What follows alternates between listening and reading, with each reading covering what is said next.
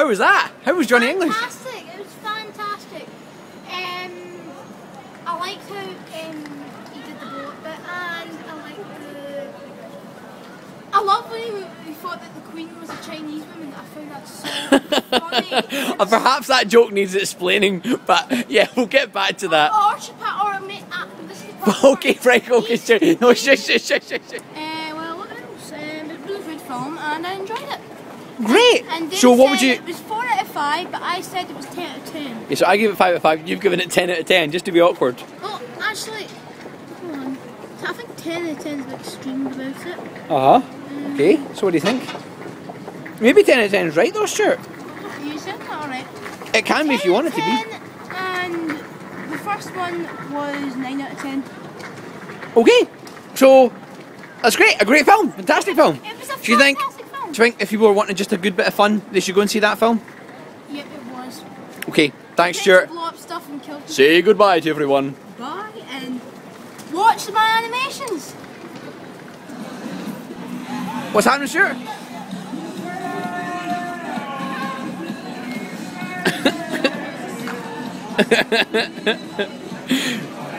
so, so the,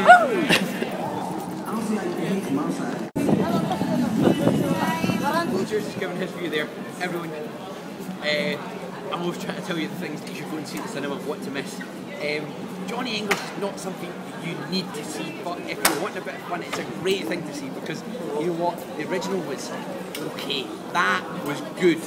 That uh, had a kind of original atmosphere about it. it, it, it uh, you know, the characters were a lot more interesting and it played a lot more off that kind of, you know, Well, well done, David. Because there's just some fantastic sequences that just like they just make fun of every kind of Uh-huh. Bond movie and spy Uh-huh. movie you've ever seen. So that's fantastic. So Uh-huh. yeah, uh, I'm gonna go.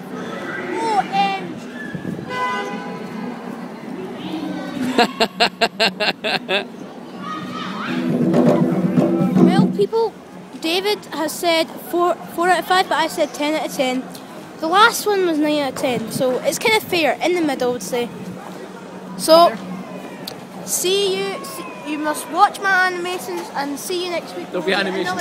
Oh, I'm sure there'll be one soon. Right? Okay. So uh, There'll be animations, everyone. but there will be Okay, animations. so- okay, there'll be one at some point. Bye. Right, bye.